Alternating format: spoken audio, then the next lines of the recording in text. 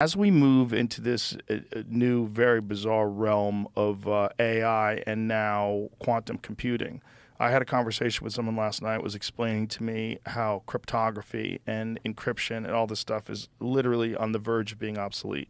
And that this is going to put the financial markets into a chaos. Uh, all, all your passwords, everybody's email, everything is out the window. There's no more encryption. It's not. It's not even going to be possible. These things are solving Marc Andreessen explained it this way that these quantum computers are solving equations that if you took every atom in the universe and converted it into computing power, the time it would take to solve these equations would be longer than the time that the universe would exist before it died of heat death. Yep.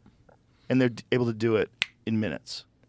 So the concept is, and this is where it gets super weird, that this is proof of the multiverse because these computers are using the computing power of perhaps infinite parallel universes simultaneously to achieve these answers.